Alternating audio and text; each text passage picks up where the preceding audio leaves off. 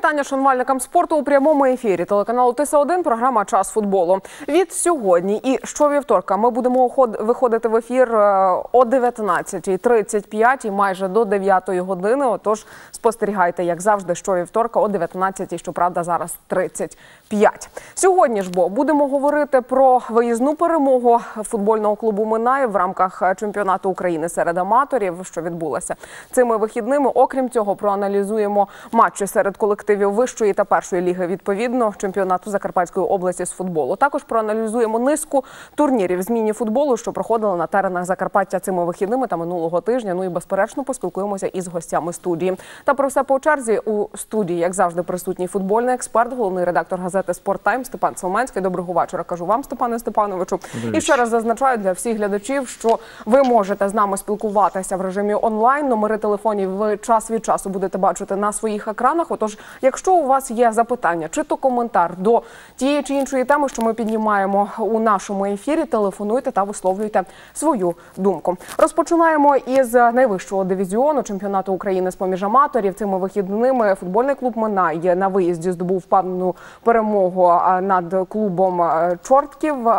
Як власне все відбувалося? А, 0-7 ми на жаль не зможемо побачити. Зате сьогодні ми відвідали тренування футбольного клубу Минай, де наставник Микола Гібалюк прокоментував виїзну перемогу, висловив свою думку щодо прийдешнього поєдинку домашнього, який відбудеться уже цієї неділі. Також проанонсував завтрашній перенесений поєдинок в рамках чемпіонату області. Отож, про все це, про всі зміни слухайте у наступному інтерв'ю.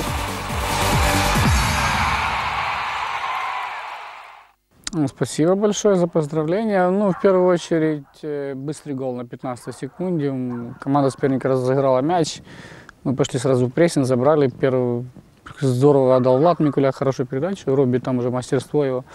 Вышел один на один, забил. И через 10 минут, в 10-12 минут и Миша Каполес тоже использовал нашу контратаку. И все. Я думаю, команда соперника расклеилась. И дальше уже было, как говорят, дело техники довести матч до логической победы. Ну, слава богу, мы еще и забили нормальное количество голов. Я не знаю, кто там пишет, говорит, что как команда слабая. Они в прошлом туре обыграли на выезде Калуш 1-0, а мы с Калушем 2-2. Я говорил, что команды все одинаковые. Просто их, как же, быстрые два гола, их просто убили, они не могли отойти от этого шока. А так э, команда старалась, были у них моменты, у них при счете 1-0 был выход 1 на 1.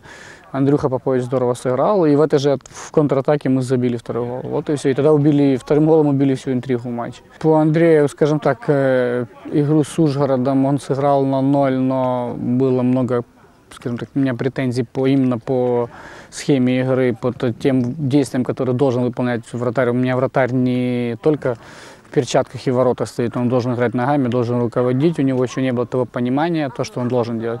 В этой игре уже больше было слышно и подсказ, и больше ребята его использовали в самой игре, и через него ввели игру. Ну, скажем так, потихонечку вливается, и если будет дальше, дальше работать, то будет достойная конкуренция нашим на данный момент двум вратарям, пока Влад Хмелевский травмирован. Мы должны завтра, послезавтра сесть, разобрать команду, ребятам указать на сильные и слабые стороны. И я уже неоднократно говорил, что в нашей группе нет слабых команд, все команды хорошие, все играют в футбол, стараются играть. Они приезжают за очками, они приезжают все заработать пару э, премиальные за свою игру. Я уверен, что будет хорошая игра и интенсивно, и с нашей стороны, и с их.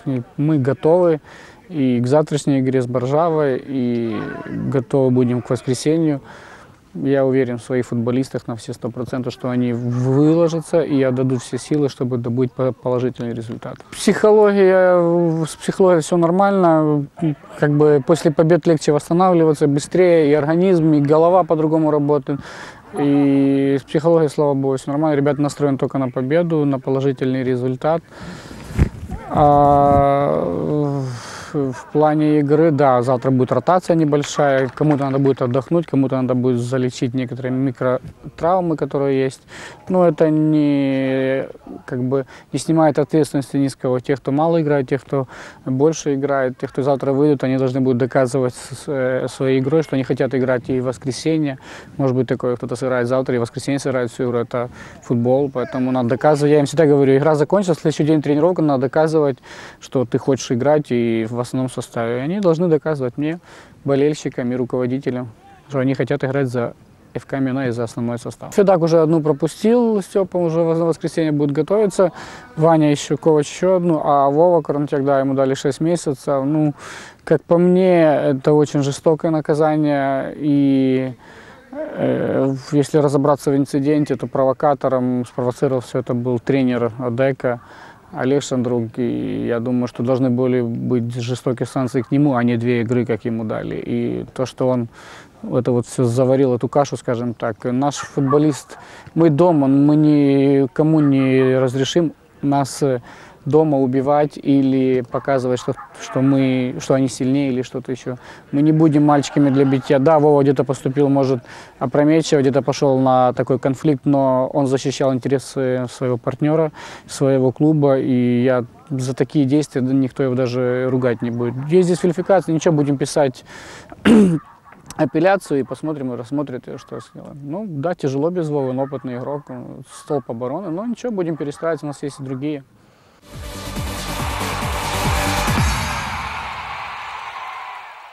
Власне, ось такий коментар головного тренера футбольного клубу Минай Микола Гібелюка. Що ж до виїзного матчу, який відбувся цієї неділі, прийдешнього поєдинку, що теж пройде на стадіоні Авангард, теж цієї неділі. Ну і завтрашнього поєдинку, що відбудеться на стадіоні у селі Минає із Довжанською Боржавою. Степане Степановичу, чули ви про перемогу? Що скажете е, про виступи футбольного клубу Минай в рамках чемпіонату України з поміж аматорів? Якраз зачіпали ми цю тему минулого ефіру. Говорили про впевнену перемогу над футбольним клубом Ужгород. Тут ще перемога в рази більша. Ну, е, Ми якраз е, на минулій програмі говорили про те, що чи не вперше в другому колі ми побачили команду Минай зібрану, ціленаправлену таку е, і з жагою до боротьби. От е, коли вони грали з Ужгородом, ми якраз це підкреслили. Дотепер ми цього не бачили. В попередніх матчах ні на Україну. Видно, команда е, десь не розуміла, що це дуже серйозний уже чемпіонат, там треба викладатися по повній. Там просто е, виходять прізвища, і прізвища футбол не грають. Грають люди, грають футболісти. Я думаю, що наконець команда це зрозуміла, і це дуже приємно, тому що ми побачили от уже другий матч поспіль Минає, ту, яку ми хотіли всі вболівальники бачити. Я думаю, що і завтра і е, хороша гра буде з довгим, тому що довга не є погана команда. Вони проблеми з голкіпером. Там, так в цілому непогана команда, і е, ті гравці, які вийдуть у мене, їм прийдеться повикладуватися для того, щоб досягти успіху. Ну і сподіваюся, що оця е, жадоба до боротьби, яка з'явилася, ми її побачимо неділю у тому поєдинку. І повірте мені, мене одна з кращих команд е, е, серед колективів фізкультури, от е, серед е, аматорів, е, які у цій е, грають у цій зоні. І ця команда повинна вигравати цю зону за, за якістю гри, за всіма показниками. Ну а я ще раз нагадаю, що у неділю Минай зустрічатиметься із футбольним клубом Малинськ, що з Рівненщині на стадіоні Авангард початок о 16-й годині. Зараз вже переходимо до матчів, що відбувалися в рамках е, чемпіонату Закарпатської області. Розпочинаємо, як зазвичай, із вищої ліги. Наша знімальна група побувала на одному поєдинку. В- До вашої уваги перший із двох поєдинків від відео надане прес-службою футбольного клубу Севлюш. Зустрічався він із футбольним клубом Вільхівці. Отож, який результат між Севлюшем і Вільхівцем та як проходив цей матч? Дивіться далі. Першим міг на восьмій хвилині відкривати рахунок Чонка, який ударом з правого флангу пробив поруч із ближньою стійкою. Через три хвилини Юрій якісно подав зі штрафного з лівого флангу, і Ковтун пробив знову поруч із правою стійкою. Хвиля атак господарів проваджувались і поступово завершувались усе точнішими ударами. Так, на 23-й хвилині Ковтун пробив із передачі від Чонки і влучив у дальній лівий кут. Пахомов зумів дістати цей м'яч. Небезпечно над поперечною м'яч. Який момент Через хвилину Ребрик влучив метрів із десяти у ближній правий кут. Юрій знову відбив. У одній із наступних атак Денис знову завершував атаку по центру пострілом із близької відстані. Спочатку Пахомов відбив, та Томі знову додав у правий кут і відкрив рахунок 1-0. на 28-й хвилині. Далі спрацював стандарт. Чонка подав із кутового з правого флангу на ближню стійку. Коли підключився, гладиш і влучно пробив. При цьому м'яч рикошетом від рук Пахомова залетів у сітку і змусив Ярослава Козака знову вказати на центр поля. 2-0. Через сім хвилин Ребрик мав дуже хороший шанс збільшити перевагу своїх, та Пахомов парирував загрозу. Ще через хвилину Реплюк обвідним ударом в стилі коноплі цілив у дальній правий кут. Та м'яч розминувся з воротами зовсім трохи і зберіг для гостей надію на другий тайм. Та зі старту другої половини матчу виноградівці продовжили наступальні дії. В одній з атак гладиш чудовим середнім пасом вперед вивів Вашкебу на воротаря, і Василю було дуже важко не забити 3-0. Через дві хвилини Чонка метрів із 35 влучив у правий кут. Пахомову стрибку перевів на кутовий, який Чонка подав із правого кута на дальню стійку, точно на голову чумаку. І Віктор пробив у ближній верхній кут без шансів на відбиття. Та гостей від голу врятувала поперечина. Реплюк віддав на правий край штрафного майданчика на чонку. Юрій на техніку пробивав під поперечину, та воротар зреагував. Трохи згодом господарі все ж досягли свого. Реплюк знову отримав пас на лівому краї. Наважився на навісний удар із досить гострого кута і влучив у дальній кут. При цьому м'яч рикошетом від стійки за спиною голкіпера залетів у протилежний кут, підкресливши один із найкрасивіших голів туру. 4-0. Виноградівці не зупинялись і реалізували ще й атаку через правий фланг, де протягом матчу креативили Ломага, Чонка та Ковня. Після одного з прострілів на ближню стійку свій голеодорський хист нарешті продемонстрував той, від кого це найбільше очікують. Чедрик, який традиційно для себе опинився в потрібному місці в потрібний час, і влучив у правий кут без можливостей на відбиття 5-0. Що ж до гостей, то вони, хоча деколи і непогано комбінували в центрі, та все ж так і не наважились побігти вперед великими силами. При цьому дуже мало пробивали по воротах і завдали практично одного влучного удару, з яким Козар впорався і без особливих надзусиль. Саме 5-0.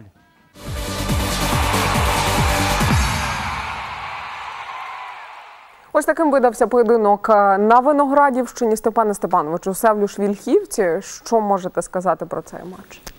Е, Ну, ви знаєте, по-перше, е, я вважаю, що вільхівцям дуже не поталанило, тому що е, після того, що трапилося тиждень тому назад із Севлюшем, поразка в середньому 1-4, тобто 4-1, це е, поставило дуже багато знаків запитання е, перед е, виноградівцями. І, е, по-перше, треба було повертати уболівальників на трибуну. Треба було показати, що це була просто випадковість. Ну, вони з цим завданням справилися. Я розумію, що сьогодні вільхівцям дуже важко. Трішки за вони втратили кілька дуже е, хороших гравців, які приносили велику користь команді. Скажімо, порівнянні з минулим роком, е, ну, скажімо, Арделян. е, Це був головний голеадор команди. Е, Потім у Говерлу перейшов, повернувся додому свою команду Василь Терпак. Потім там ще гравець у них є, теж їхній у Польщі зараз виступає. Тобто це дуже відчутно. Але команда дуже бойова, і я думаю, що з нею всім важко грати. Ну просто в них зараз шансів не було, тому що Севлюш треба було доводити, що команда буде продовжувати боротися за золоті медалі чемпіонату. Ну, власне, що вони і довели. Е, Ми ж бо переходимо до наступного поєдинку, на якому побувала наша знімальна група. Це протистояння між футбольним клубом Поляна та футбольним клубом з обласного центру. Е, Ужгород їздив на виїзд, виборов нічию. Як все проходило? Дивіться далі.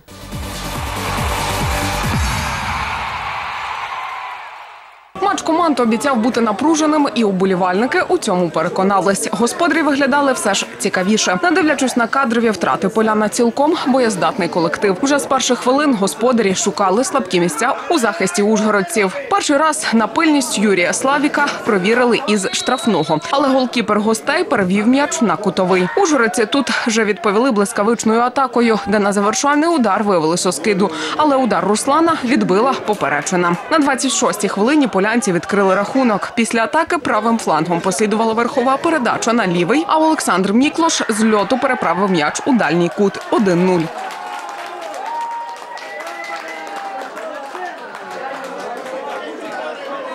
Ще через кілька хвилин серія помилок ужгородців у захисті ледь не привела до другого голу, але Славік виручає свою команду.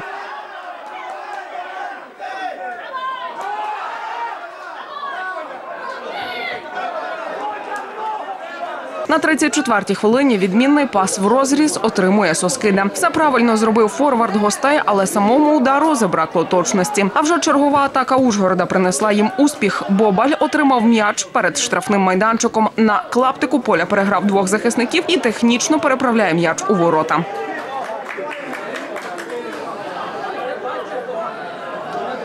Вже перед свистком на перерву ситуацію біля воріт гостей загострив Володимир Варваринець. Після верхової боротьби Володимир отримав м'яч, вийшов на ударну позицію і пробив. Юрій Славік зумів парирувати удар. Вже на початку другого тайму полянці знову виходять вперед. Після флангової атаки і прострілу м'яч попадає у руку захиснику.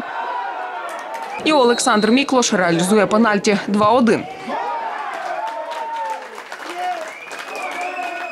Далі гра пішла на зустрічних курсах. На 53-й хвилині господарі нанесли непоганий удар з 30 метрів, але Славік на місці. У відповідь флангову передачу головою замикав Михайло Стегура, але Ярослав Бучок легко справляється з м'ячем. На 67-й хорошу нагоду змарнував Володимир Варваринець, який намагався в один дотик переправити м'яч у ворота. Завершення виявилося неточним, але до честі нападника він не виключився. Дістає м'яч на лінії воріт і прострілює вздовж них. Захисник у стрибку вибив м'яч і ледь не зрізав у власні ворота. На 74-й хвилині знову Славік зумів відстояти свої ворота після передачі з правого флангу і удару у площину воріт. На 89-й хвилині гості зуміли зрівняти рахунок після подачі м'яча з лівого флангу. Руслан Соскида технічно головою підрізає м'яч у кут воріт. Останні кілька хвилин господарі пішли вперед великими силами. Нанесли кілька ударів, але Юрій Славік на останньому рубежі не помилився. У підсумку нічия 2-2.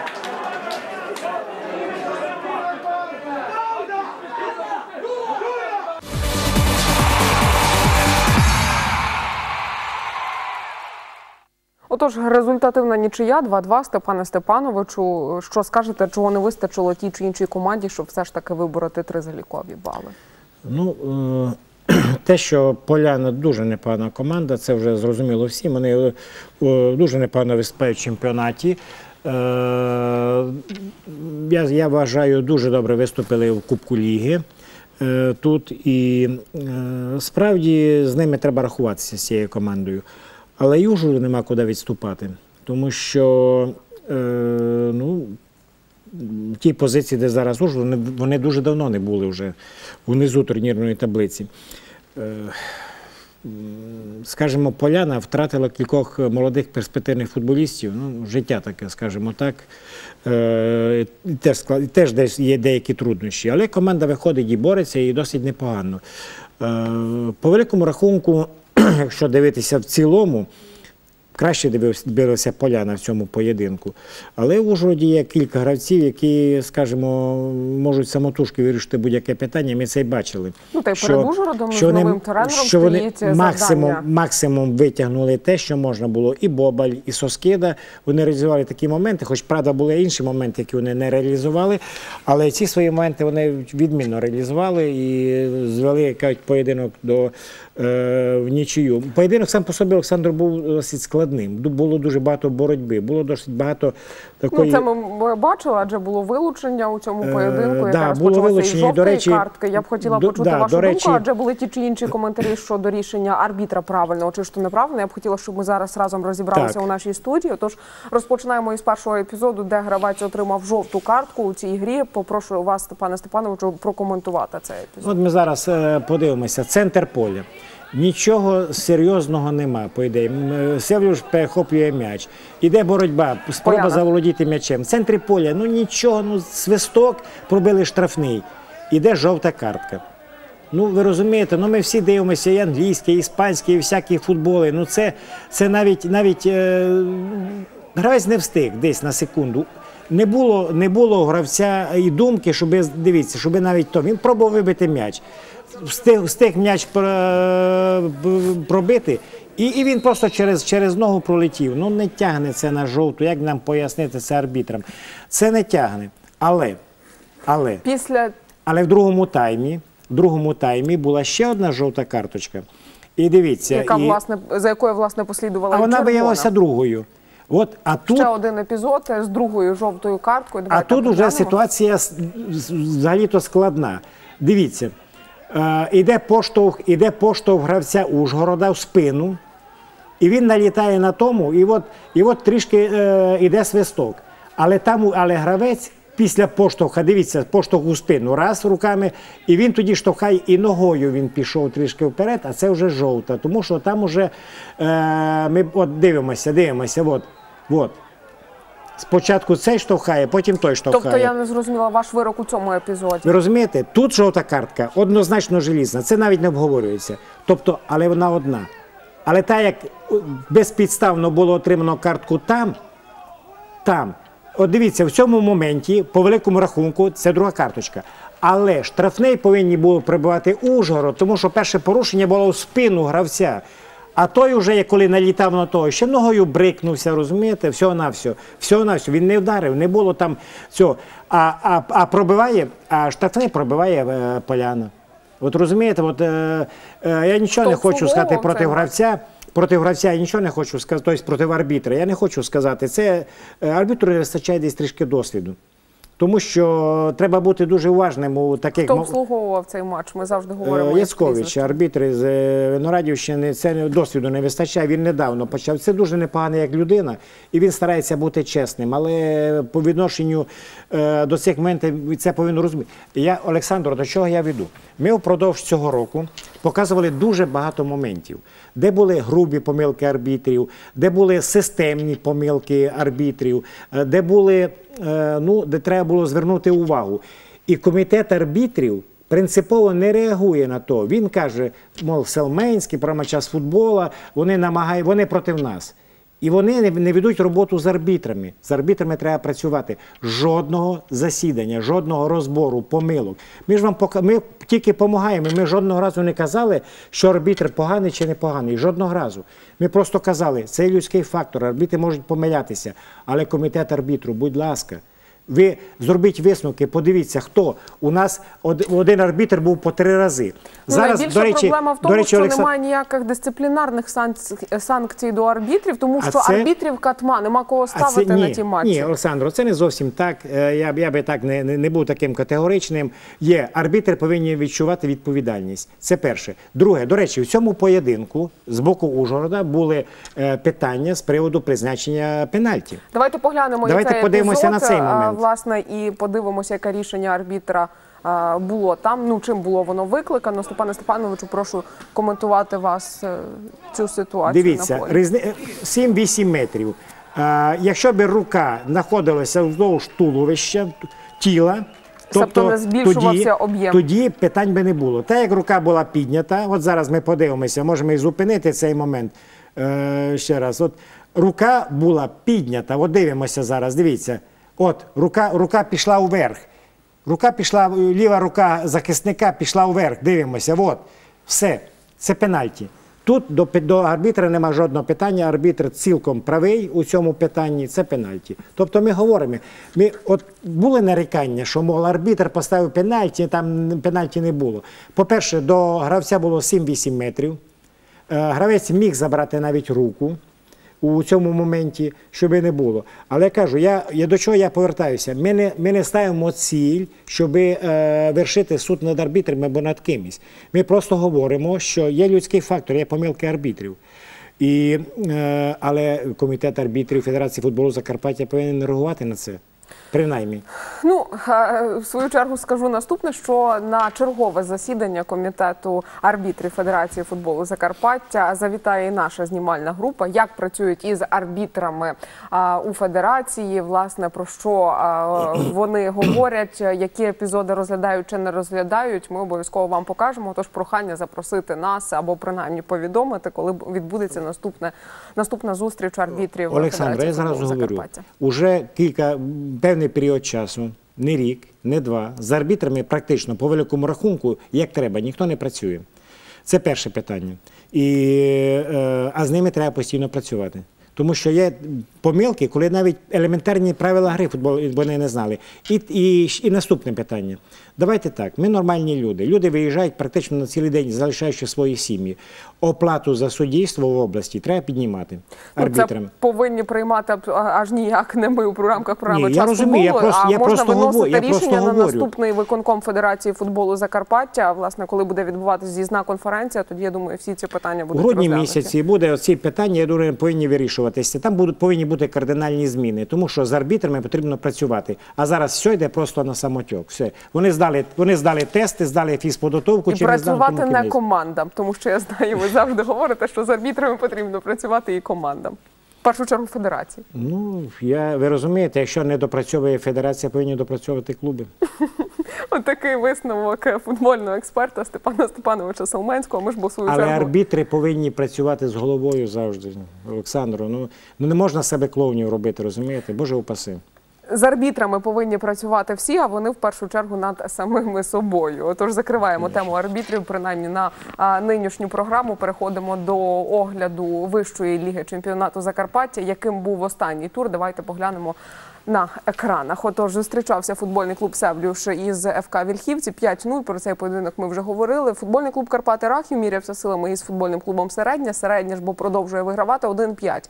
Кінцевий результат цього матчу. Е, Футбольний клуб Минай ФК Боржава перенесено на 27 вересня. Цей поєдинок відбудеться завтра на стадіоні у селі Минай. Футбольний клуб Поляна ФК Ужгород Мирування Чуя 2-2. Ну і Бужора із Дершави зустрічалася із футбольним клубом Оболонь, що на Хущині 2-0 кінцевий результат цього поєдинку. Ну, е, по-перше, хотілося б відзначити, що е, дебютує Минайський стадіон.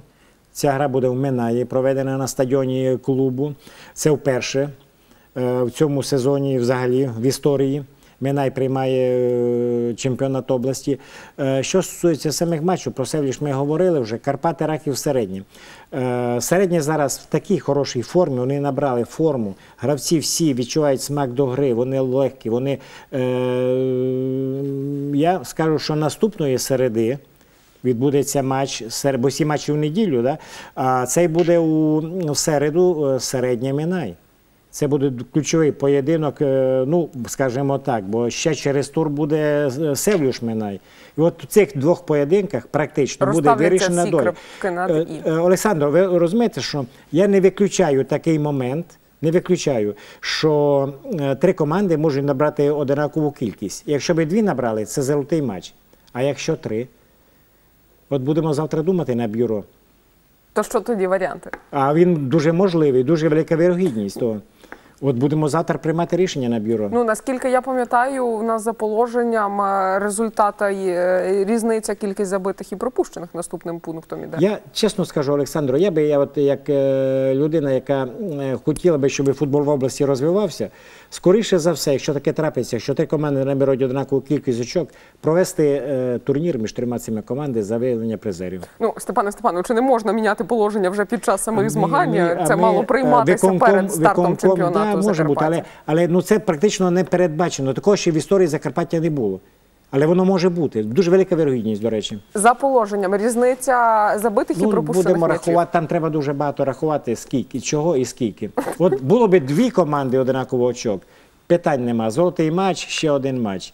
А от три команди, от три Ну, от, Ну да. правильно за положенням вже зараз різниця забитих ну, може, і пропущених. може бути все, але я кажу, що і Ну, дуже багато хто білому на що що написано? для того, щоб була справедливість, провести оцей три дні, отакий турнір між ними, і все. Ну е, знову ж таки, ви завжди кажете, що у футболі є буква закону. В нашому Тоді- форматі це регламент і положення змагань. Тоді, тоді відкинути все, провикинути жереб, і на тому все. В футболі, у футболі це теж проводиться. Ну не будемо ми тут гадати із Соломенським, що буде відбуватися далі. Безперечно, покаже час. А ми в свою чергу про все це будемо говорити у програмі Час футболу. Зараз ще давайте поглянемо на турнірну таблицю, якою є вона, та яка імовірність все ж таки того, що три колективи е, наберуть най е, одинакову кількість очок. Давайте глянемо. Перша сходинка футбольний клуб Севлюш Виноградово. У його активі 32 очки. А стільки ж балів має і футбольний клуб Минай. Щоправда, Гра- цей колектив е, має одну гру в запасі, яка відбудеться завтра. ФК Середі має 30 очок, 21 бал за футбольним клубом Поляна, 15 очок набрав футбольний клуб Бужора. Бужора Єршава, 14 очок футбольний клуб Карпати Рахів, 14, стільки ж у футбольному клубу Вільхівці, 12 залікових балів має ФК Ужгород, 11 футбольний клуб Оболонь Хуст. Ну і власне футбольний клуб Боржава довго замикає турнірну таблицю, знаходиться на 10-й сходинці, і у його активі одне очко. Щоправда, завтра вони будуть зустрічатися із футбольним клубом Минай.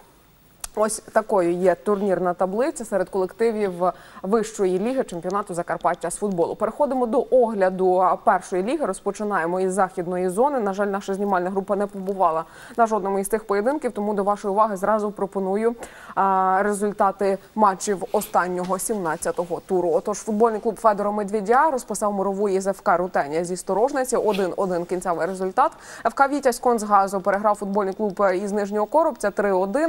Локомотив ЧОП е, зустрічався із футбольним клубом е, Там неявка з- Березного. з Березного. Технічна поразка 3-0.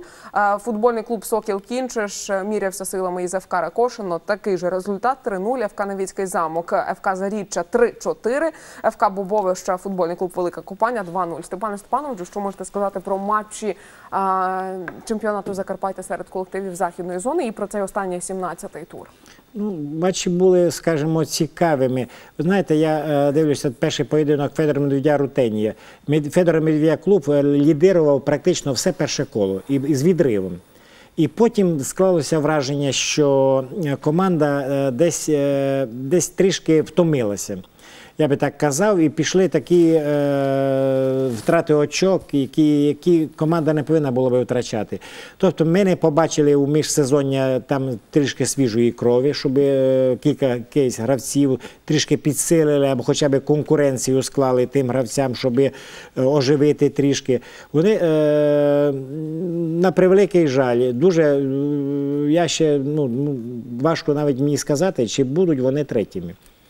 Якщо, якщо з таким відношенням, як вони, якщо їх треба стряхнути, там, там достатньо хороших гравців. На їх треба, знаєте, от потрясти, і вони і побігли.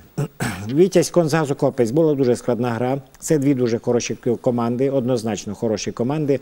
І е, я вам скажу, що перші 20 хвилин е, значно краще дивився Вітязь. Перевага була досить очевидною. Потім гра підрівнялася.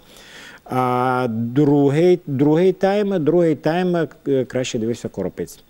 Але тоді, коли краще дивився Коропець, е, саме тоді Вітязь забив два гола і ще не реалізував пенальті у цей період. Е, ну, У чому причина технічної поразки? Ну, власне, неявки Е, Березного. Дуже, я дуже, ну, дуже неприємно здивований, тому що Березний це така команда, знаєте, я її вважаю такою справжньою аматорською командою області, яка виходить, грає в футбол, уболівальники, багато уболівальників у Березному. І це дуже тривожний симптом, тому як і тут, і в східній зоні не було одного цього.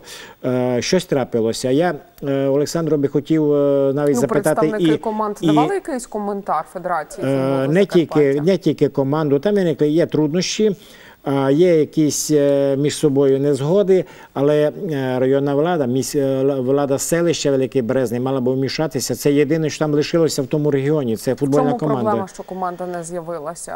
Фінансовий аспект, недостатня та там, кількість гравців по великому через рахунку цілий, травми цілий букет. Там цілий букет, Олександро, є, є проблем у цьому. І е, районна влада просто дивиться збоку. Не повинно так бути.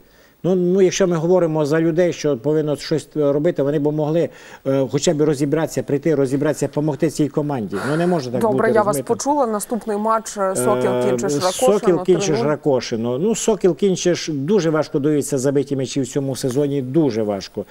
Але Ракошино, ви розумієте, от падає команда, от уже другий рік все нижче, нижче, нижче. Незрозуміло, село з такими традиціями, і стільки все було футболістів. От вона програє 3-0, і команда на передостанньому місці, і е, може бути все е, таке, що вона буде взагалі останньою.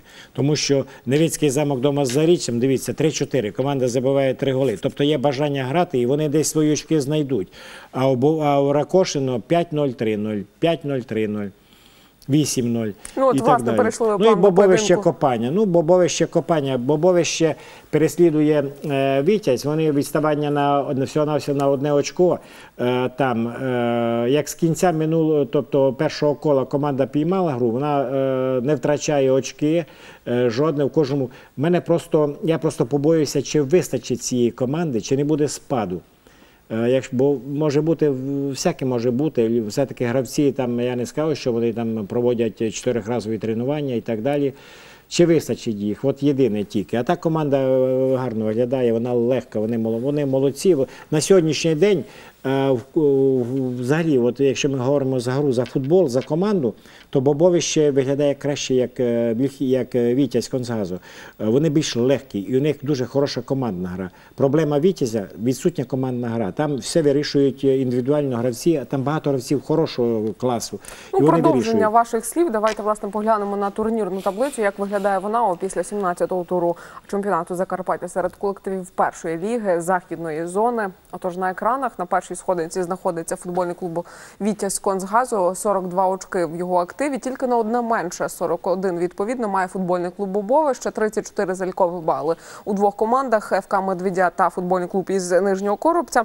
32 очки набрав футбольний клуб Локомотив Чоп, 26 у футбольного клубу Копаня, а 24 очки за Заріччям, 16 у Великого Березного, 15 у футбольного клубу Рутенія зі Сторожниці, 14 залікових балів. У футбольного клубу Сокіл Кінчеш 8 пунктів у Ракошина. Ну і замикає турнірну таблицю Невицький замок. У його активі 5 очок. Тут Олександр зрозуміло, Вітязь Бобовище, вони борються за золоті медалі, хтось золоті, хтось срібні. Е, Дві команди Коропець і Медведя, вони борються за бронзові нагороди сьогодні. Ще до них ще з ними в групі є локомотив ЧОП, яких шанси хороші, хоча в них, мабуть, найскладніший календар. Календар. І ця команда і так пережила в цьому році більше, як всі інші, але вони молодці, тримаються наверху в лідерах. Потім іде золота середина, там е, копання заріччя, їм, їм нічого боятися. Е, Там і Березний вже, скажімо, по великому рахунку, ну, нічого турбуватися за те.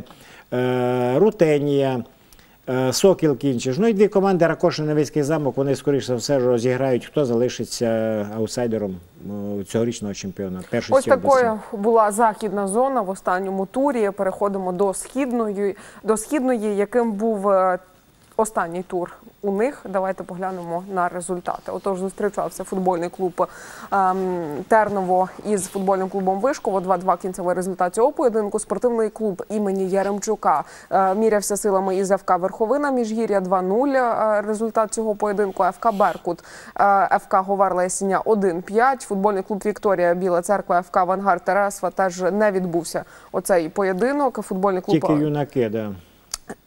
Футбольний клуб Інтер Ганич даю США Тячуєв 3-2, ФК Діброва Нижня Апша, футбольний клуб Карпати Дубове 0-2. Розпочну із поєдинку, який не відбувся. Які причини там? Адже е, не пройдений поєдинок у західній зоні, е, матч, який не пройшов у східній, це вже дзвінок. е, Все ж таки Я думаю, що стосується авангарду Тересва, це е, організація роботи.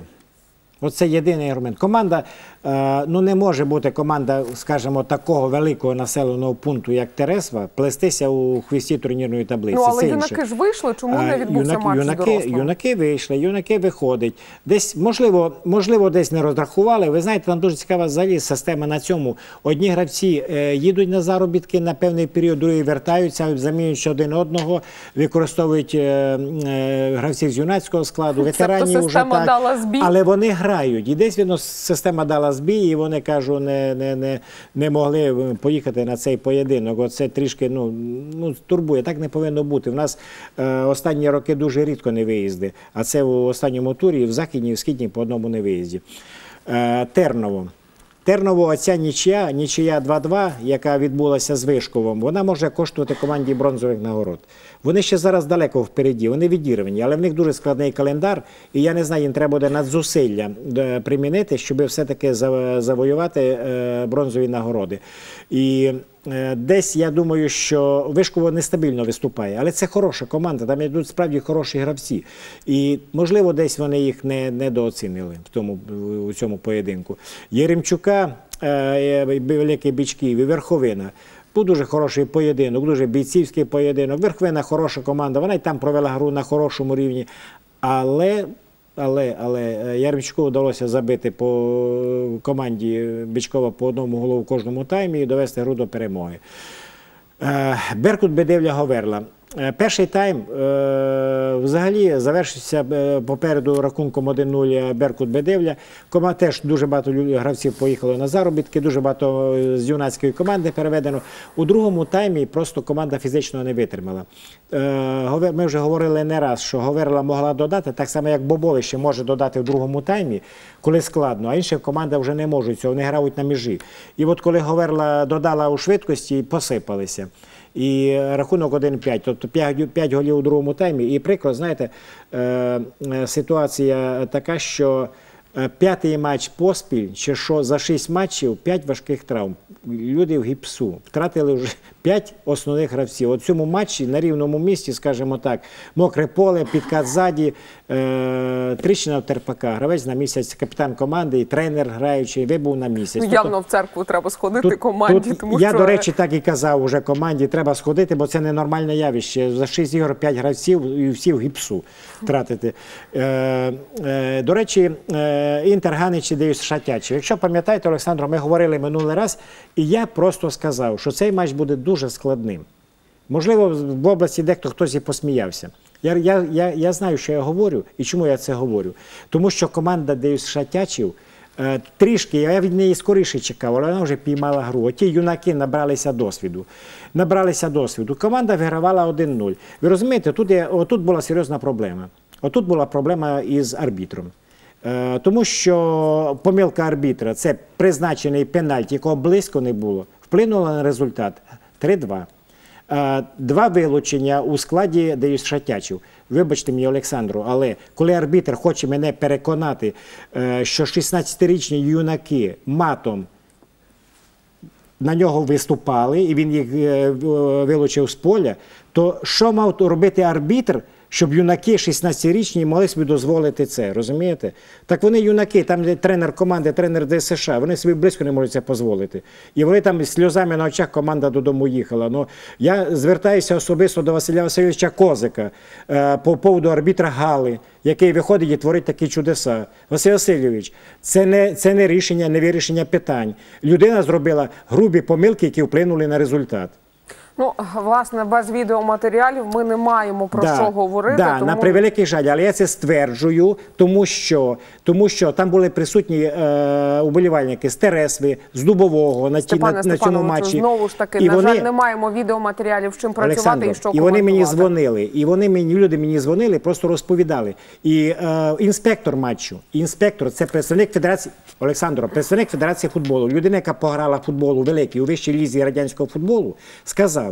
Пер, гол ар, пенальті, яке було поставлено, чисто ар, е, е, воротар зафіксував м'яч. Арбітр, тобто гравець форвард, через долю секунди зачепився ногою, з криком упав на це. Тобто там мала бути жовта картка тому, Степане Степановичу, ще раз повторюю, без відеоматеріалів ми не маємо про що говорити, адже наші розмови так і залишаться розмовами. не, Тому переходимо Олександро, до це не програма час футболу говорить, це я особисто сказав це, що я хотів сказати за Я вас почула, але Да. від Це не програми програма час «Час футболу», я кажу вам, що ми не маємо про що говорити, поза як не маємо відео доказів щодо того чи іншого факту. Давайте поглянемо, якою є турнірна таблиця серед колективів східної зони на першій сходинці. О, після останнього туру розмістився футбольний клуб Говерла Ясіня. У його активі 48 очок. Він стає уже недосяжним для інших колективів. На 10 менше має футбольний клуб Інтер Ганичі, 34 залікові бали у футбольного клубу Терново, 29 ФК Вікторія Біла Церква, 28 балів мають три колективи. Це Карпати Дубове, спортивний клуб імені Яремчука і футбольний клуб Верховина Міжгір'я. 24 очки набрало Вишково, 14 балів у футбольному клубу Беркут, 13 за футбольним клубом Діброва з Нижньої Апші, 10 очок має ФК Авангард. Ну і замикає турнірну таблицю на 12-й сходинці, де Юсажа Тячів у його активі 4 очки.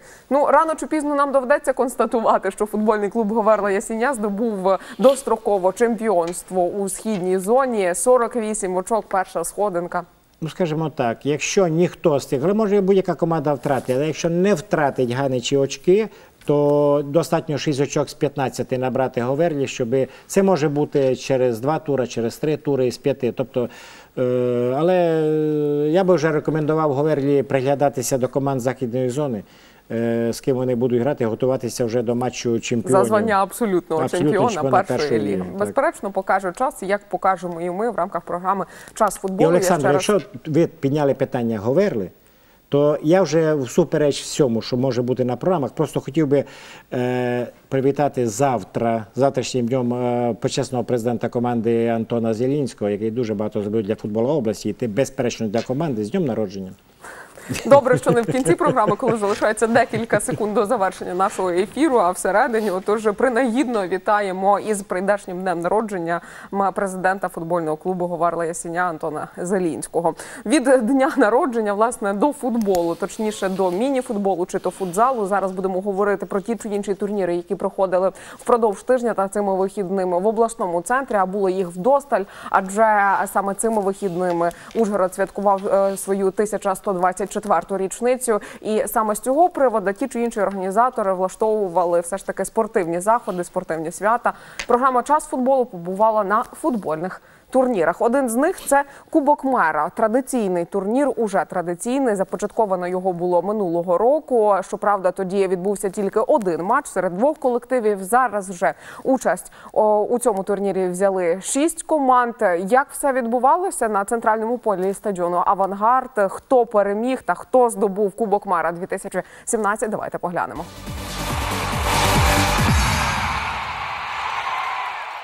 У турнірі взяли участь шість команд: команда національної поліції, патрульної поліції Ужгорода та Мукачева, колектив обласного управління СБУ, команда Ужгородської міської ради, колектив депутатів Ужгородської райради та команда підприємців.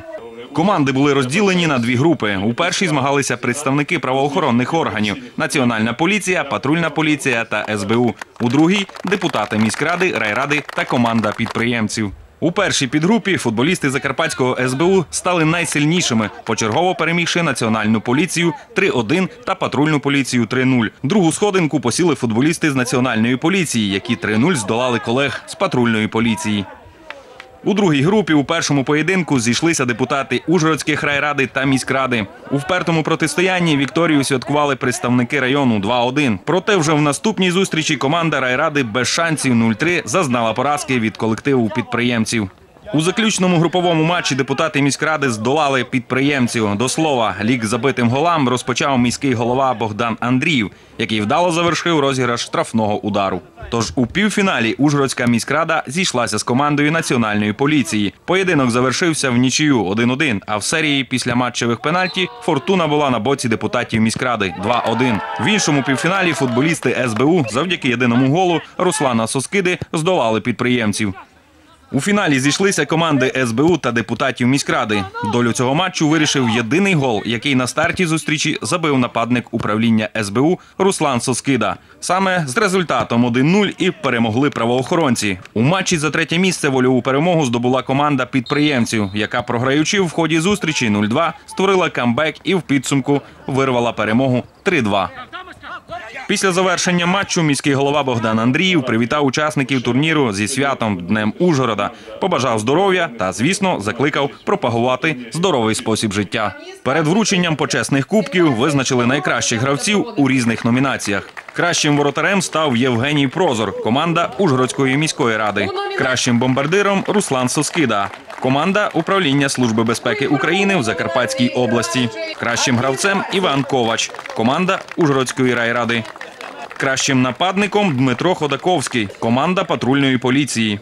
Кращим захисником Василь Зубанич, команда підприємців Ужгорода. Кращим півзахисником Богдан Степанов, команда національної поліції. Далі ж капітани команд з рук міського голови Богдана Андрієва отримали трофеї кубки. області, ваші області переможці цьогорічного турніру.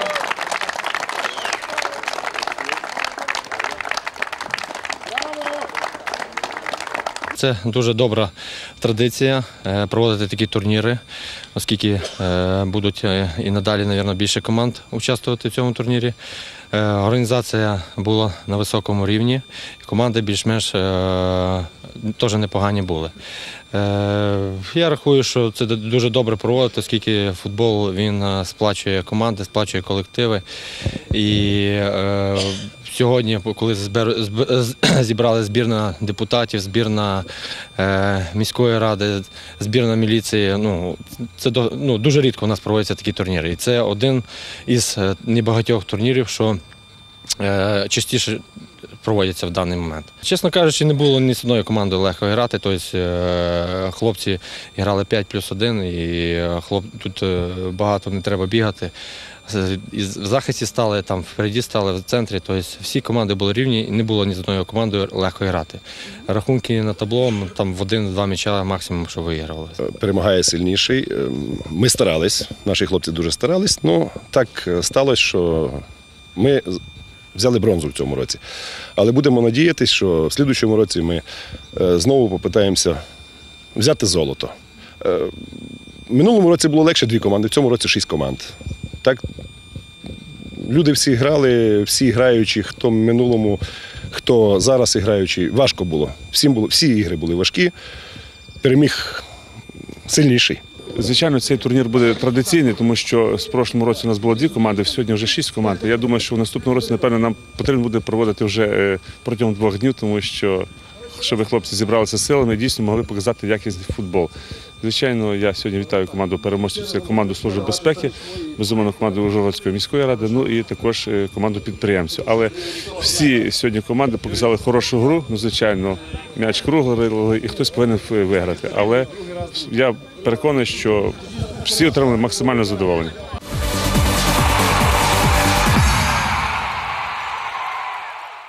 Ось так пройшов турнір на Кубок Мара 2017. А Відрадно, що цьогоріч він зібрав уже шість колективів. Будемо сподіватися, що наступного року, безперечно, кількість та географія учасників розшириться. Зараз же я вже рада вітати наших гостей.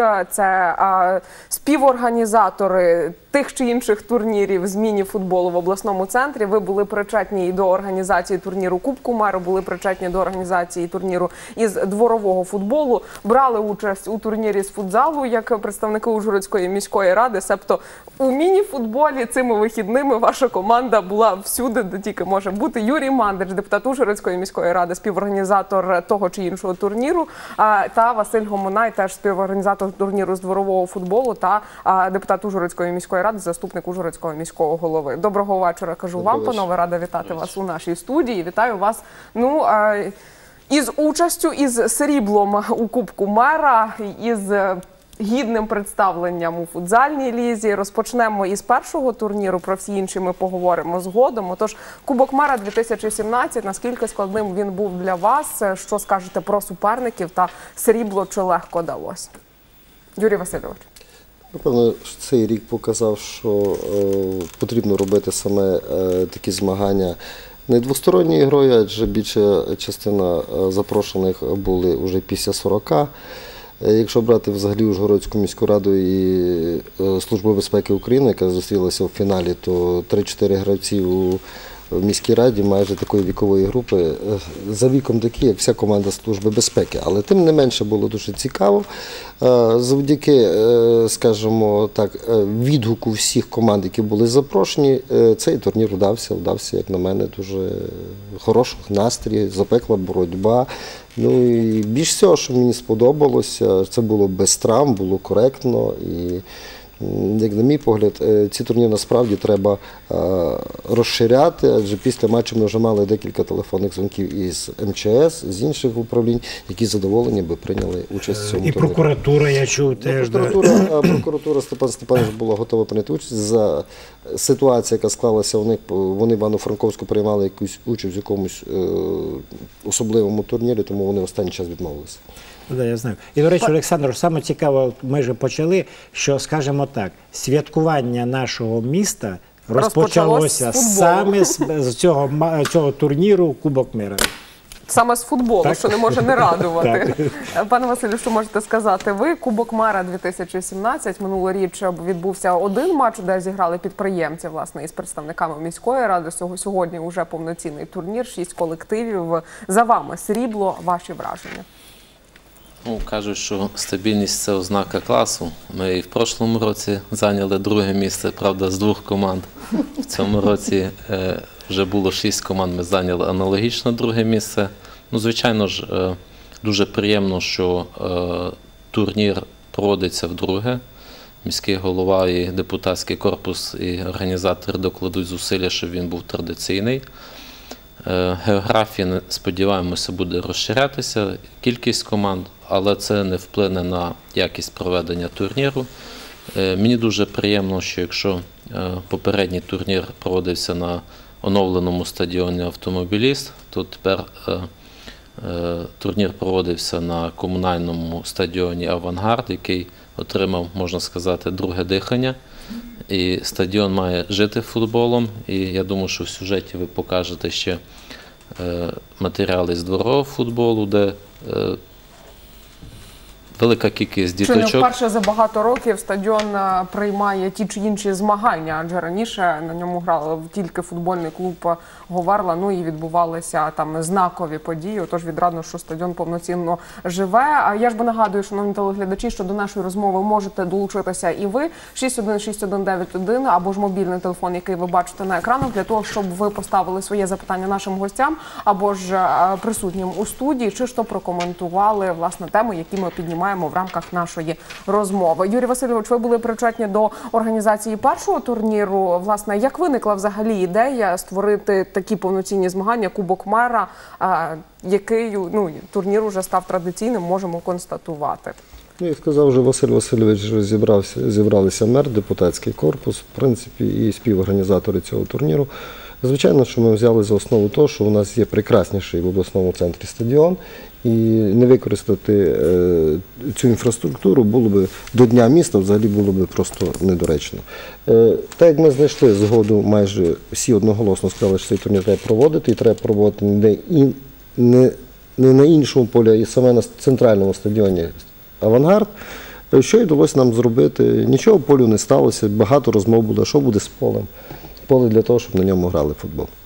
Я, до речі, е, Олександр, хотів би запитати вже е, обоє наших гостей сьогодні виходили на поле у футболках е, збірної е, міської ради. І проводили на полі досить великий проміжок часу, скажімо так. Е, е, Пан Василь взагалі більшість ігрового часу на полі перебував. У мене просто питання: от Що думали, що ви думали? Що думали гравці? Думала команда, коли, коли у першому поєдинку ви поступилися е, міській рай, е, е, збірній Ужгородської районної ради? Якщо питання до мене, то відповім дуже просто. Е, В команді, в команді всі ті, хто колись грав і продовжує грати в футбол, всі з характером, всі знають, що таке програвати, всі знають, що коли є шанс, треба його використовувати. Я думаю, що це якраз та ізюмінка, яка відбулася під час матчу підприємців Ужгородський район. Ми зуміли е, зібратися, переговорити, десь е, все ж таки сказати, що ну, ми ж не простяки, футбол грати вміємо, адже в команді майже всі, хто грав в футбол. Ну, я думаю, що це просто та атмосфера, той дух, який є в команді, він і поміг перемогти уже підприємців. Багато хто на трибуні після першого поєдинку казав, ну, депутати міської ради з групи не вийдуть, а ви вийшли з першого місця. Особливо був показовий матч із підприємцями, які, е, мабуть, вони цей е, думали, що вони вже все недосяжні. І вони виграли 3-0, да, у тому думали, що все, куди? А ви програли у Жгородському району і поступилися вам 2 2-0. Прийшлося рахувати голи, і що тільки не рахувати, щоб вивести переможця.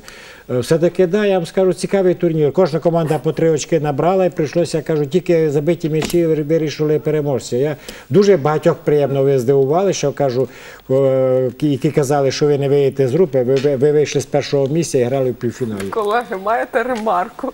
Що ж до слів Степана Степановича? Ні, ну характер проявили депутати міської ради, я повинен зазначити, це правда. Степан Степанович, я за рік не грав в футбол, але останні 7 хвилин на полі я на п'ятому, на п'ятій точці прокатався. Але прокатався і не жалію. Де міг, там, там котився. До речі, не перший, те- перший матч вам запам'ятався надовго. Я думаю, що е, у нас був вже досвід ігри із командою депутатів Ужгородського району. Е, Провели ми це у спорткомплексі у Ужгородському районі на запрошення е, депутатів району. Досить легко ми в них виграли. І, можливо, от була якась роз- розслабленість і впевненість в своїх сил, а ви ж знаєте, що е, футбол розслабленість і е, легковажність не прощає, і Я думаю, що це був дуже хороший такий урок. І, в принципі, е, дуже нам повезло, що це сталося на початку турніру.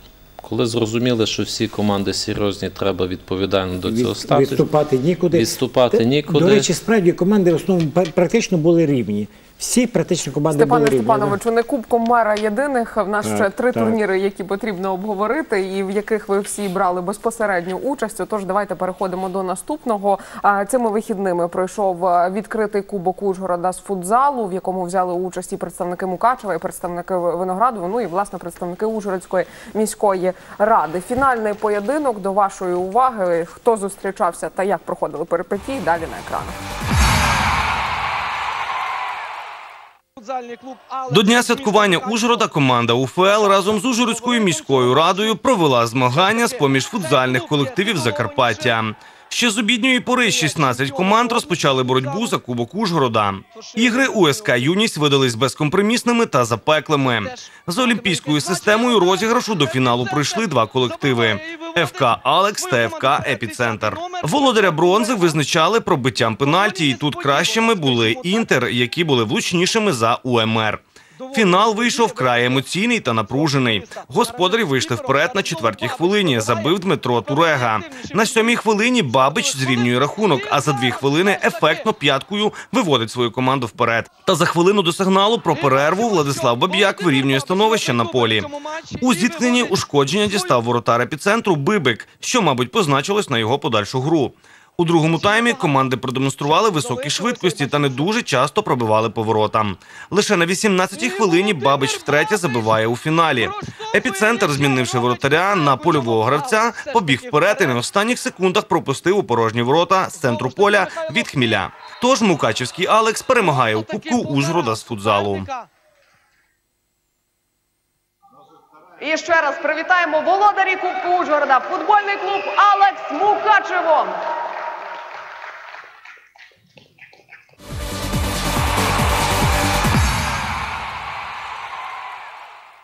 Отож, мукачівці приїхали на відкритий кубок Ужгорода з футзалу і забрали усі трофеї. Як бачимо, м'яч круглий. Пане Василю, розпочну із вас. Ви теж брали участь у цьому турнірі. Все ж таки, чого не вистачило, щоб е, вибороти бронзу, адже е, ну були десь за крок до неї. Ну, я вважаю, що е, Степан Степанович дуже влучно е, відзначив, що Кубок мера розпочав святкування Дня міста. Е, Кубок Ужгорода з футзалу фактично закінчив святкування Дня міста.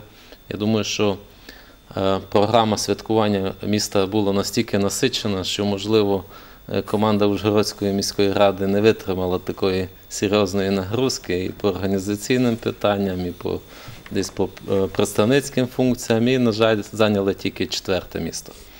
Ну, е, Серед 16 команд. серед 16 команд. Це хороший показник. Ну, е, ставлячи завжди Але без максим- медалей залишилися, Да, так? Це таке, знаєте, як, е, як кажуть, що четверте місце це. е, Друге і четверте то найгірші да, місця. Да, да, це.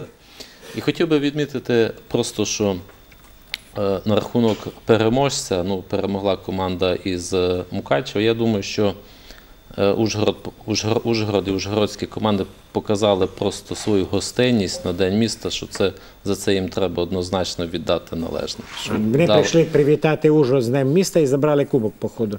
Да, да. Юрій Васильович, чого ви не допомагали своїм колегам? Можливо, з вашою поміччю все ж таки та і бронза була би в кишені. На жаль, але як сказав Василь Васильович, день міста був дуже насичений. І прийшлося займатися ще іншими деякими справами. Тому не всі змогли прийти на цю ігру.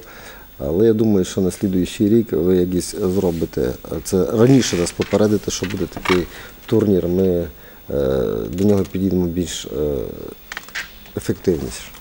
Будемо сподіватися, що як мінімум бронза все ж таки наступного року за Ужгородською міською радою. Таким був турнір із футзалу. Зараз вже переходимо до а, е, турніру із дворового футболу, який теж вже є традиційним і проходить в обласному центрі. Збирає чимало команд. Більше про нього будемо говорити із нашими гостями. А поки що до вашої уваги відеоматеріал.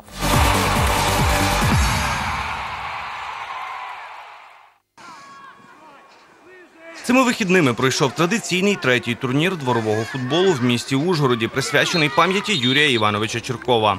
Турнір проходив на стадіоні Авангард за підтримки Ужгородського міського голови Богдана Андрієва, голови Федерації футболу Закарпаття Івана Дурана, управління у справах культури, спорту, сім'ї та молоді Ужгородської міської ради, Міжнародного фонду відродження МГО Чиріклі.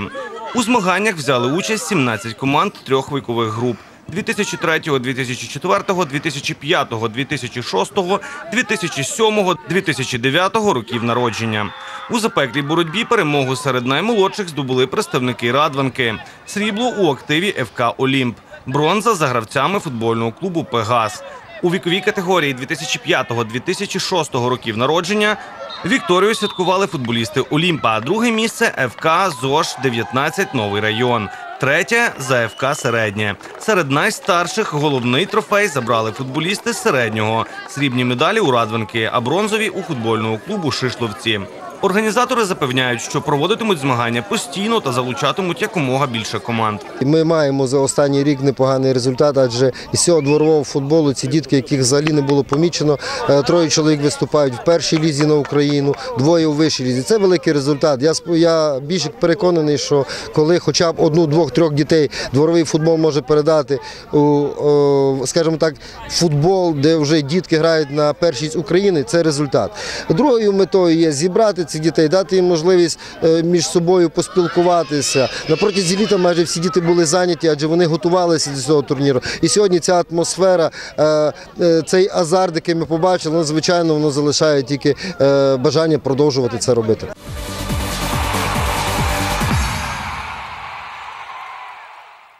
Власне, ось таким був турнір з дворового футболу. Традиційний цьогоріч він пройшов на центральному полі стадіону Авангард. Ну і обидва співорганізатори цього традиційного турніру у нашій студії. Отож, панове, е, дворовий футбол 2017 року. І цей турнір, е, яким він був для вас? Е, Що скажете, коли вже все позаду і можна підводити підсумки? Юрій Васильович розпочинає з вас. Ну, напевно, скажу так, що звичайно цей турнір був кращий, ніж минулі два попередні. Тільки тому, що участь вже в ньому прийняло е, не 12 команд, не 6 команд, як це було, а 17 команд трьох вікових груп. Е, Насправді на протязі року е, була активна підготовка майже у таких дворах, як Проспект, Новий район це Олімп, такі футбольні клуби, як середні.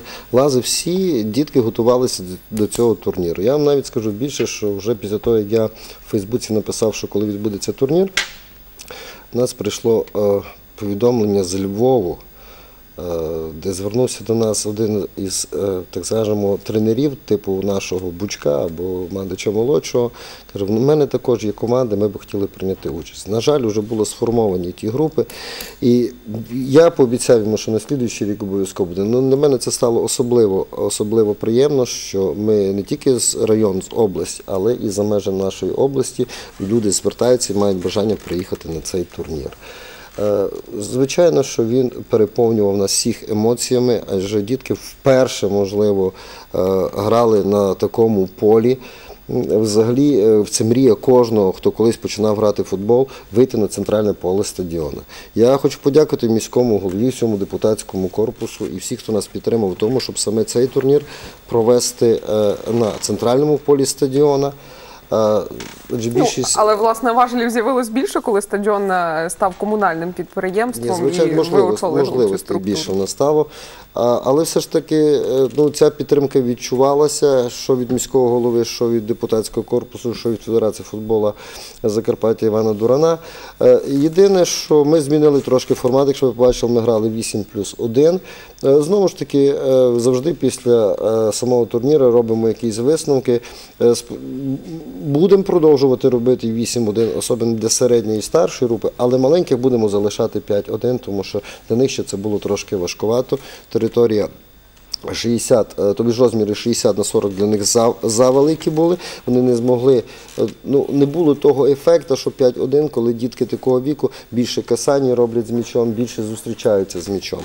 Е, Тому десь, е, десь, ну, десь правильно говоримо, якісь речі робимо позитивно, а десь на чомусь ще вчимося.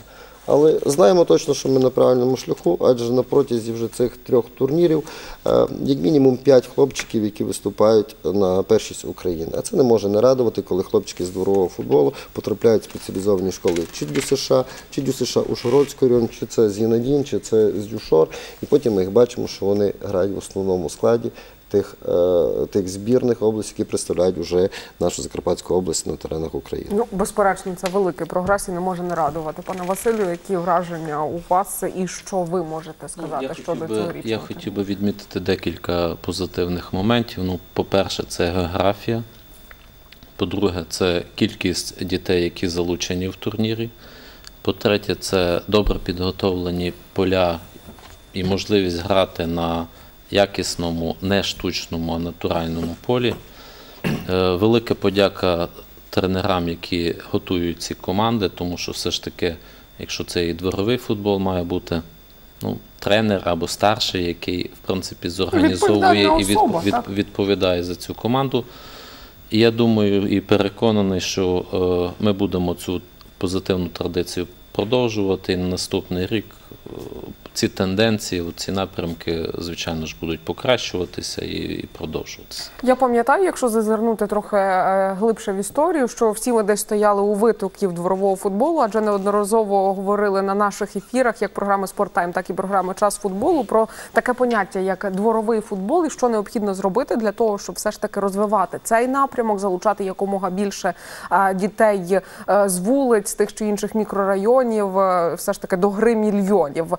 Ем, Три роки вже пройшло, навіть трохи більше. Ем, Яку динаміку розвитку ви бачите у дворовому футболі в обласному центрі? Розпочнемо із нашого місту. Все ж таки, чи ну турнір цей показовує, адже команди збільшуються, значить тенденція позитивна. Але окрім турніру, безперечно, є ще якісь напрямки, над якими ви працюєте, і є ще якісь завдання, які ви собі ставите. Ну, Звичайно, ми бачимо, що 19-та школа поповнилася штучним майданчиком. Якщо ми беремо сьогодні мікрорайон Проспект, то в ближайший час, от, можливо, ну, до нового року там буде стояти знову штучний майданчик. Але проспект і е, тим не менше займався на тому, на чому міг.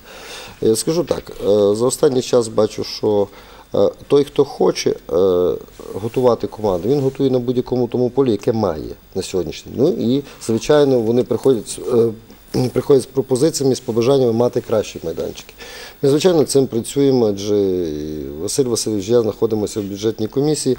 І, звичайно, коли є така можливість, щоб десь виділити майданчик або хоча б на основу, то ми намагаємося переконувати колег з депутатського корпусу. Е, Більшість із них, звичайно, є спортсменами, які підтримують це. І ми бачимо, що розвиток саме е, інфраструктури у місті Ужгороді він розширюється. Це є основною роботою нашою підтримувати хоча б ті поля, які ми маємо, щоб вони не запали, і по можливості збудувати щось нове, щоб розширяти інфраструктуру. Олександр, я би е, хотів дати запитання Василю Васильовичу зараз, як уже практично як заступнику голови міської ради, міського голови.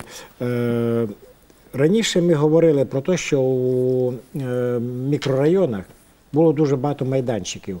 Та вони не були штучні, вони були прості звичайні майданчики, де зрана до, до пізньої ночі не вщухали галас там дітвори, які там ганяли м'яч і, і так далі. Сьогодні дуже багато, ми розуміємо, це вимоги життя. Да? Дуже багато майданчиків зайняли автомобілі, їм теж ніде е, ночувати, скажімо так. І майданчиків практично дуже і дуже зменшилися. А раніше всі великі футболісти виходили з дворового футболу. Оцих дітей, яких ми бачили зараз на авангарді, їх не привозять джипи на тренування. За ними ніхто сумки не носить із футбольною формою на тренування. Е, Це ті діти, які от такий справжній футбол. Знаєте, коли я е, подивився, що навіть голова Федерації футболу прийшов, бо каже, мені цікаво. Це ті діти, які е, вони не такі, вони більш щирі. От в футболі вони, вони зовсім інші. Чи можлива ситуація у місті, щоб можливо якось виправити ситуацію по спорудженню простих звичайних майданчиків, де б діти могли займатися? Ну, е, я тут би хотів відповісти трохи як юрист. На жаль, у нас законодавство досить таке бюрократичне. Е, Процедура виготовлення проектно-кошторисних документацій, проходження відповідних е, експертиз досить така довготривала. Е, Безперечно, можна такі е, проекти фінансувати. Я думаю, що міська рада разом із міським головою при плануванні бюджету на 2018 рік обов'язково такі моменти врахує. І ці елементи благоустрою території обов'язково будуть е, заплановані на 2018 Сергійович, рік. ми пам'ятаємо їх обтягнуті сіткою, невеличкі участки, і там діти Степане зранку Степановичу, не так вже й багато часу. У нас до завершення ефіру залишається. Відрадно все ж таки, що а, нинішній депутатський корпус, що принаймні люди, які знаходяться в міській раді, все ж таки тяготіють більшість до спорту і до збільшення спортивної інфраструктури в обласному центрі. Ви це можете запевнити, так? Однозначно, я думаю, що в найближчий час е, не буду розкривати секретів, можливе поява ще й додаткових е, майданчиків із штучним покриттям. Звичайно, робиться це в спів, спів, у співпраці з Федерацією футболу Закарпаття. Е, Підтримку маємо і в Закарпатській обласній раді, і в межах можливостей нашого бюджету ми, звичайно ж, будемо фінансувати можете бути в цьому впевнені такі спорт, спортивно покращення спортивної інфраструктури, не тільки я, футбольної. Я, я е, практично був майже весь турнір, там на цьому я спостерігав за цим. Я наскільки були е, раді оті діти оцьому турніру, отому, вони жили ним. Кажу, це Ну, щирі емоції не можуть ну, не це радувати. настільки потрібна це справа. дуже кажу, добре. що я вже кажу, як, колег, як колеги, бо ми на бо ми все-таки в футболі часто зустрічаємося. Потрібні ці турніри. От, дуже власне, потрібні. про потрібні, що е, найближчим часом нас чекатиме від напрямку дворового футболу під вашим кураторством. Все ж таки, чи будуть до наступного турніру проводитися якісь ще змагання для діток із тих чи інших мікрорайонів, для діток з вулиці? Думаю, охочих було б чимало. Чи задумовувались ви над новими турнірами? Ну, ми, як правило, завжди говоримо і раз в році вони запрошують і після турніру дворового футболу. Але до цього часу пройшло дуже багато різних змагань. Були міжнародні змагання на мікрорайоні Радванка, де приймали участь словаки, угорці, е, мікрорайон Радванка і була команда Олімп. До того, е, це так і так е, турніри без нас. Без нас. Це просто бажання закордонних гостей прийти до нас, які мають ближайших Словаччини, які мають свої футбольні клуби. Ну і подивитися, що у нас за діти. Треба задуматися. Сьогодні Словак, Словакія і Угорщина цікавиться нашим молодим поколінням. Вони приходять саме дивитися дворові, дворових дітей, не йдуть спеціалізовані школи. Вони йдуть в такі місця, як мікрорайон Радванка, як проспект. Вони там пробують грати якийсь турнірчик або якусь ігру для того, щоб подивитися, а потім поспілкуватися. Як ви думаєте, чому? Я думаю, що вони розуміють, що це бідні дітки, потім пробують з батьками переговорити. І пробують, е, ну, вже у Мукачеві, наскільки я володію, Берево, Мукачево, вже немає, ну, вже ніхто не дивується тому, що більша частина наших юнаків вже знаходиться в Угорщині. Це буде чекати в нас в місті Ужгород. Якщо ми не будемо зацікавлювати, не будемо розширювати межі спортивної школи, не будуть більше турнірів, тільки турнір Україна, перша ліга і вища ліга. Нам треба додатково щось створювати для того, щоб ми могли цих дітей всіх е, якось компактно у цьому футболі утримати. Ну я ж бо в свою чергу сподіваюся, що ми будемо зустрічатися частіше ніж раз на рік і говорити про саме нові тенденції, нові проекти і нові віяння, як в дворовому футболі, та й футболі загалом, для того, щоб заучити і залишити наших дітей на теренах не тільки нашого краю, а й України. Я, в цілому. Олександр, мушу скористатися моментом. Я Степане Степановичу, ефірний бу- час дуже коротенько. ефірний час наш вичерпаний, тому Да. е, А тоді можна привітати е, Томаша Пфайфера. Завтра йому 75 років. Один з кращих футболістів, один з найкращих футбольних арбітрів Закарпаття. Ми Святкує приєднуємося усі до вітання із днем народження, як Томаша Пфайфера, так і всіх іменинників, які причетні до гри мільйонів, та й не тільки до гри мільйонів. Але на цьому я буду прощатися. Дякую гарно, що були з нами. Е, Ми нині говорили разом із Юрієм Мандичем та Василем Гомонаєм, співорганізаторами турніру з дворового футболу, депутатами Ужгородської міської ради. Дякую, що були з нами. Всього найкраще, нехай щастить. Ну і безперечно, грайте у футбол.